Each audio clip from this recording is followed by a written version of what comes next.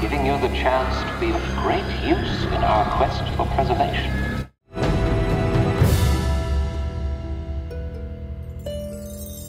This is Brian with ScreenPhiles.com and Trailer into Reaction.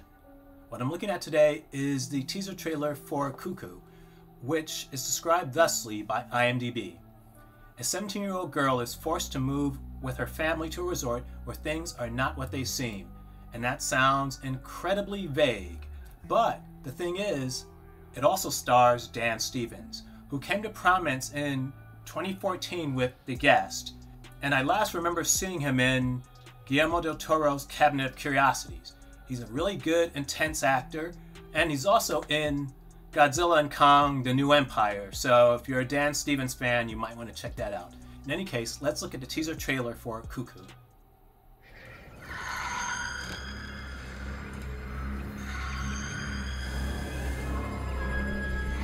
Great music. Giving you the chance to be of great use Dan Stevens.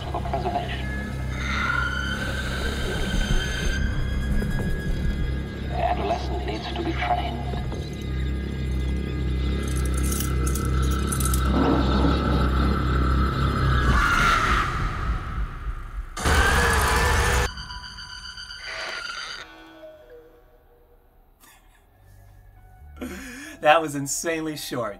But what I liked about that trailer was that I'm assuming that that young person whose back we saw was the protagonist.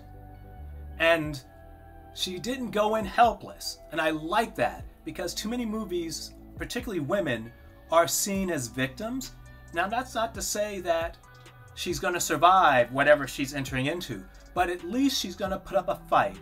And it's worth mentioning she clearly knows how to use that knife. So this looks interesting to me. I can't really say if it's going to be good or not till I see a full trailer.